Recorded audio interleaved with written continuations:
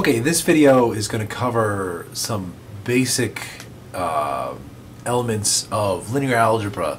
Uh, so, um, most numerical methods uh, that are solved on computers today have a heavy reliance on um, linear algebra, matrices, vectors, uh, being able to solve linear systems, so on and so forth.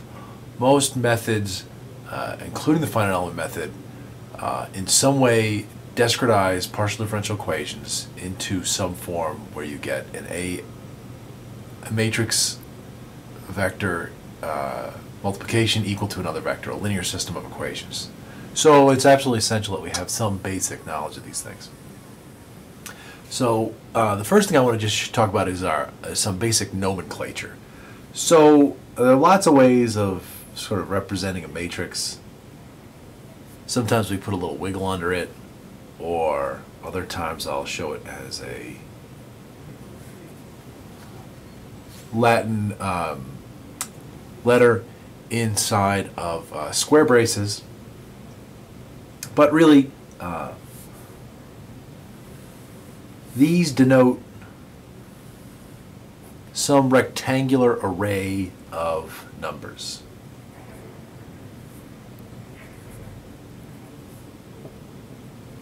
I should have had a little more space. This might be, excuse me if this is a little hard to read. Eh. Let me, let me, let me rewrite this again, okay? Make it a little bigger.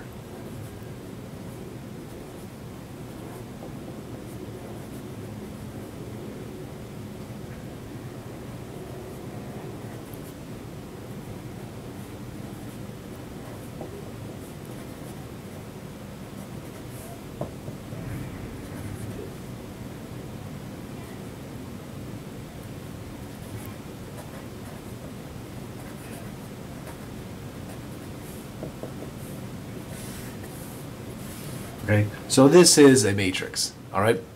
Uh, usually, the actual uh, entities inside the matrix are given by, um, oops, I hope that didn't get all screwed up, um, are given by uh, lowercase letters.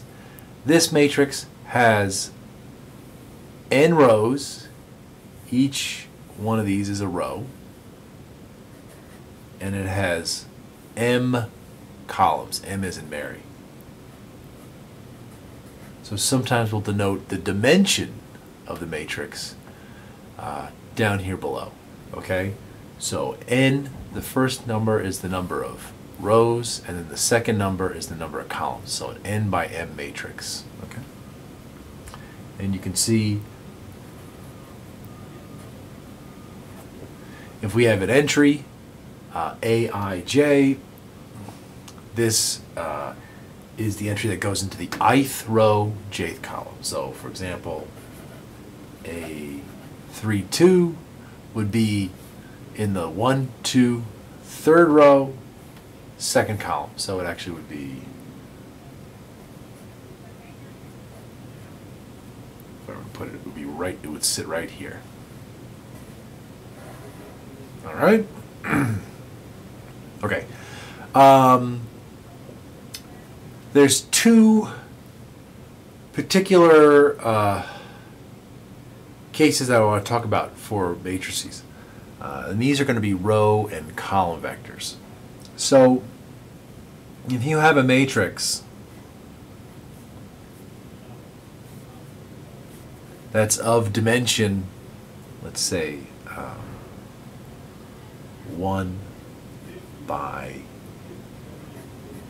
M. This is a single row. So you'll have A11, A12, A1M.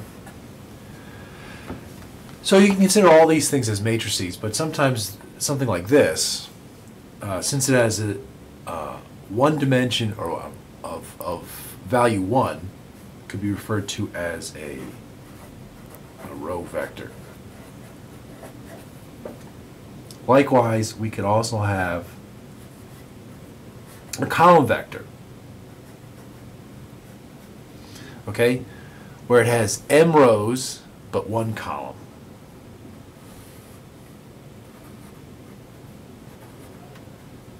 So sorry.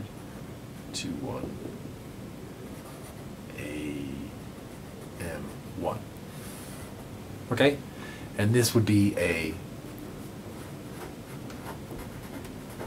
column vector. All right?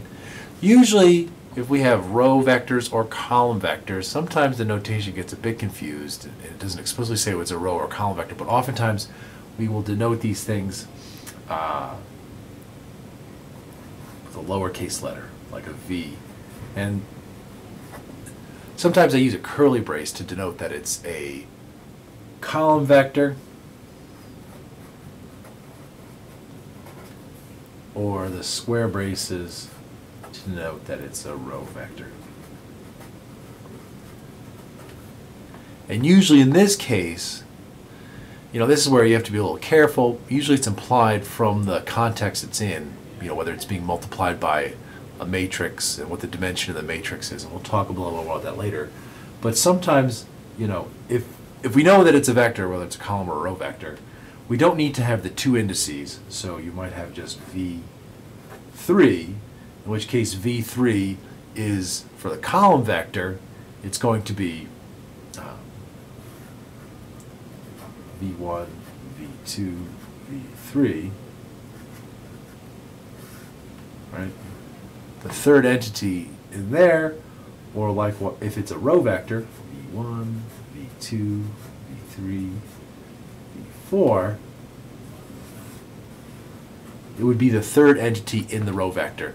So if you know that they're vectors, whether they're column or row vectors, you don't need to explicitly say, hey, you know, here's the second index. Okay, although technically if you think of this as a matrix, this would be uh, V1, 3 for the row vector, first row, third column. And here, this would be V3, 1, right? Third row, first column. But for vectors, we usually kind of ignore that situation. Okay. What I want to talk about next is uh,